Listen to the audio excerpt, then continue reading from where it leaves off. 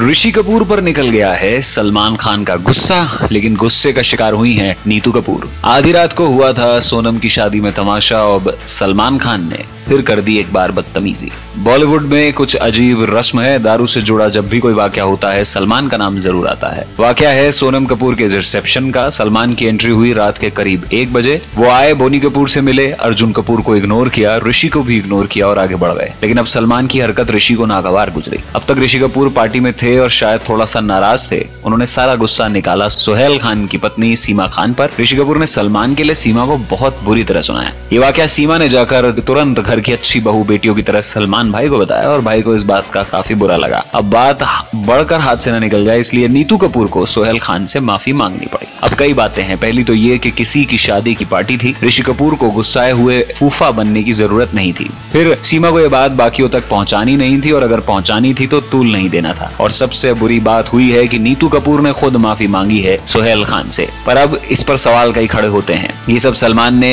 सिर्फ इसलिए किया कि नीतू कपूर रणबीर कपूर की मम्मी है और कटरीना को बिल्कुल पसंद नहीं करती क्या ये कारण है वैसे ऐसा पहली बार नहीं है जब सलमान ने किसी से बदतमीजी की हो पर सलमान किसी की सुनते भी नहीं अब ऋषि कपूर का इस तरह नाराज हो जाना खुद उनके लिए ही नुकसानदायक साबित हुआ है